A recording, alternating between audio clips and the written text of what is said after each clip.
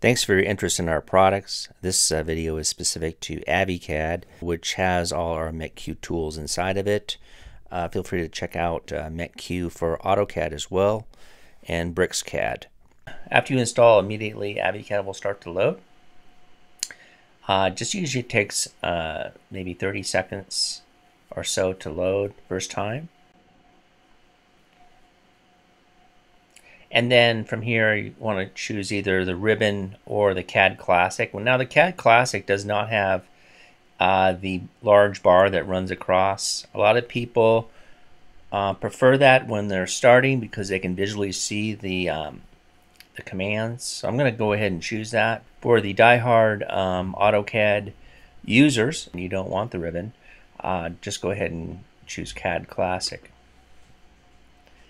and down here don't show this message again so that the dialog doesn't reappear. So here I've got the ribbon installed and as you can see it's uh, put up there all the Mech-Q tools which I'm going to be going over real briefly today. And then at the very top here you have all your basic commands for CAD. As well when you load in a new drawing you're going to get this dialog what this dialog is really informing you is that it's going to be using a default Mech-Q file with all the settings in it. Now in the future, if you go to the Mech-Q config area, you can uh, save your profile uh, to another drawing. For example, if you were doing like 3D work and you had all your Mech-Q settings for 3D, you could save those 3D settings along with the spec level that you were using and load those into a new drawing and we have a tutorial about that I'll leave at the bottom of the video. So we're going to choose OK for this. Now I should mention you can switch workspaces so if you click on the little uh, gear icon here you could switch back to CAD Classic if you wanted to or choose some of these other workspaces as well.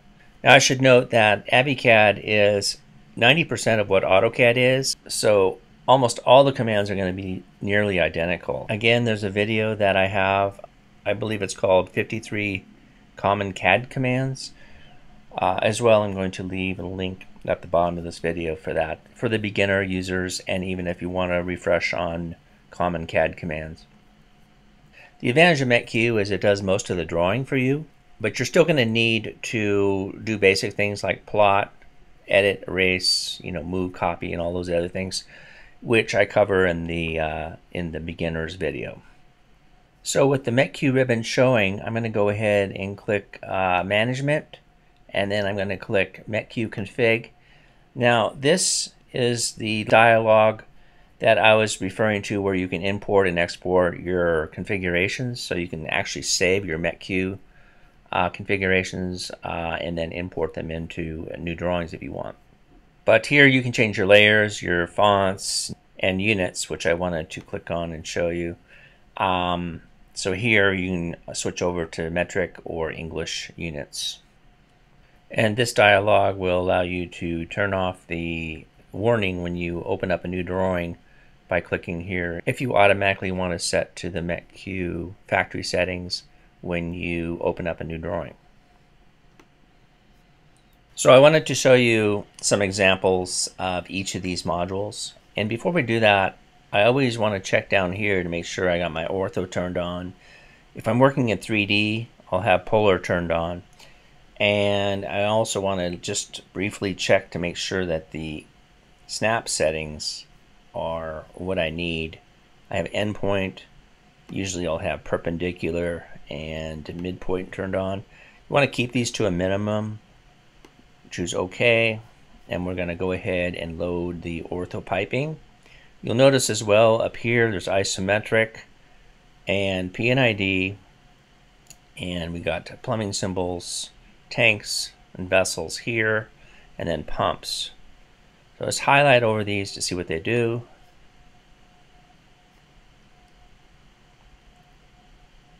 And uh, let's just create a simple 90 degree turn here. So here's where the insert points show up. You have these little yellow X's. Um, so I'm going to pick a point, look in the lower part of your window as well. Look near the cursor and it will tell you what to do next. So we're going to pick a point and we're going to come down two feet. I'm going to type in two feet as we're pointing cursor down and then we're going to go over two feet and then we're going to press enter.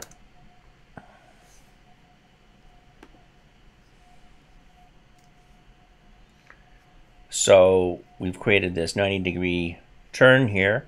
Now we can go back. We can uh, just press the enter key to reload the dialog since it was the last thing that was loaded. By pressing enter always repeats the last command. And let's go ahead and put a flange on here. Let's click on the flange and then choose draw. Here we can either enter a single flange. If we did so, we'd pick this one because again, the insert point is here. Um, as well, we could change the flange type to welding neck and we could draw a double flange if needed. So let's go ahead and just pick this one. And we pick the point and we're going to rotate that flange in. So by just holding the scroll wheel down on my mouse, I can kind of pan around and then just use the scroll wheel to zoom in and out.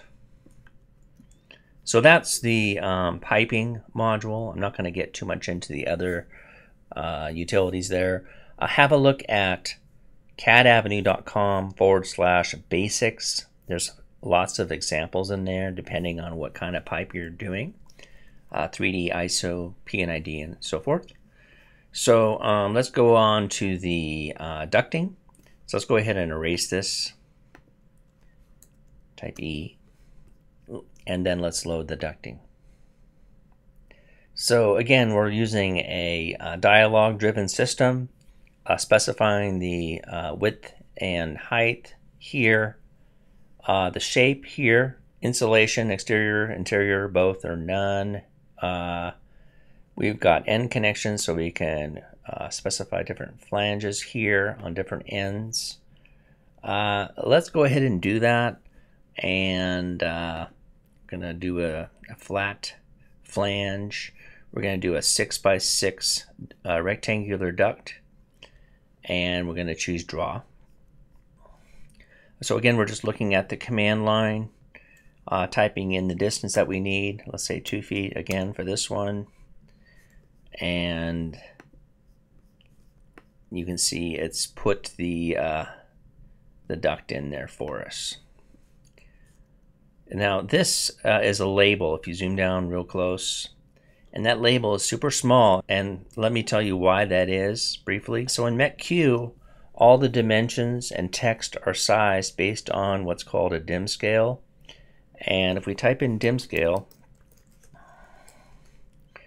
uh, we can press 12, for example. Uh, now 12 would be more for a um, half inch drawing.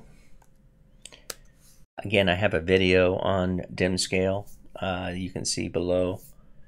Now, if I were to redraw this duct again, so let's go ahead and erase it and redo that.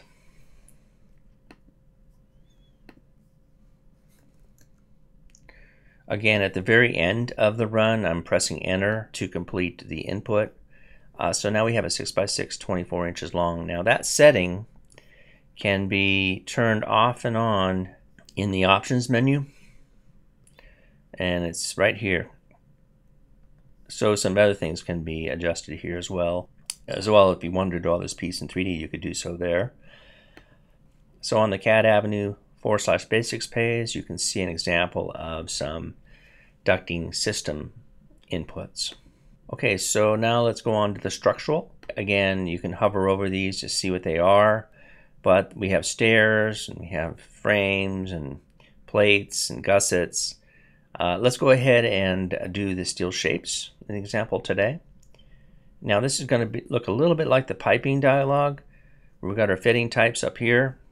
Um, so uh, you can choose between the uh, S shape and here we have the W shape, you can see all the specs down here of what you're going to be drawing.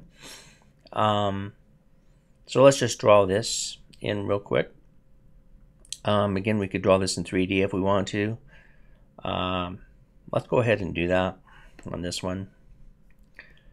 So we've got the W shape, then we just click the uh, view draw.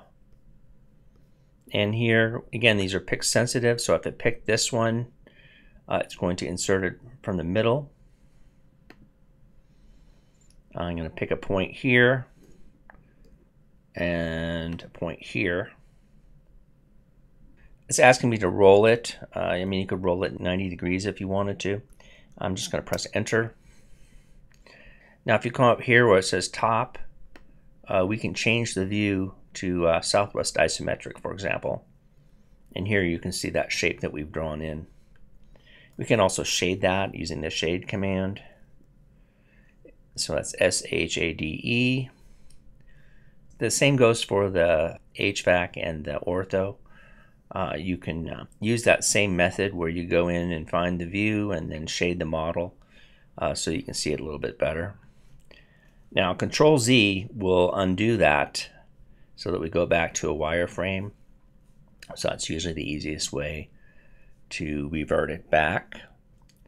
So let's look next uh, at the uh, mechanical module. Here we have the uh, shafts, bearings, chamfers, keyways, and spur gears. And here we have the fasteners and the material handling. Let's just uh, do an example in the fasteners dialog. So let's do bolts and screws. Um, here we can do different views uh, for 2D, but let's choose 3D again for this one. And uh, we're just going to choose draw. It's asking us for the install point and the point direction. Uh, it's asking us for the length of the uh, screw. Let's type in 12. The thread length, we'll just choose 12 as well. Go into isometric and shade this. So I hope this has uh, been helpful. Just a quick rundown really of how Mech-Q works. Uh, again, have a look at our video section, uh, either cadavenue.com forward slash basics, or you can just head on over to the video link at the top of the page. Uh, that's at cadavenue.com forward slash videos. And from there, you can continue on learning how to use Mech-Q. Uh, and for the most part, Mech-Q is very simple to use. It's just a matter of understanding really how it works and uh, getting used to uh, some of the um, dialogues. And then you should be good to go and on your way to becoming a lot more proficient getting your CAD drawings done. If you have any questions, feel free to call. The number here is 888 271 7121. And I hope you have a great day.